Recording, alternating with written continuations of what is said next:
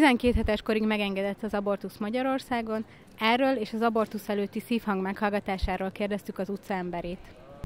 Az anyára szerintem eléggé komoly érzelmi befolyással lenne, hogyha hallana a kisgyerekének a hangját, így valószínűleg me- inkább megtartaná, de nyilván, hogyha a gyereknek viszont komoly egészségügyi problémái vannak, azt érdemesebb megelőzni.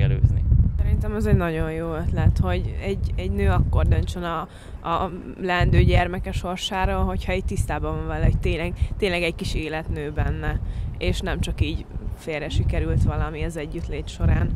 Igen, szerintem egy jó ötlet lenne, mert valószínűleg kevesebb benne az abortusz, mivel valószínűleg a kisbabának a szívfenge felkelteni a leendő édesanyában az anyai érzetet, és ezért valószínűleg nem következne be az abortusz sok esetben.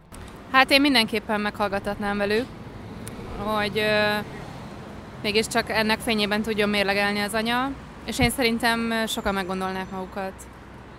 Én valamikor mentőztem, és amikor szigorú volt, és nem engedték az abortuszt, rengeteg olyan baleset történt, ami sokszor az anya életét veszélyeztette.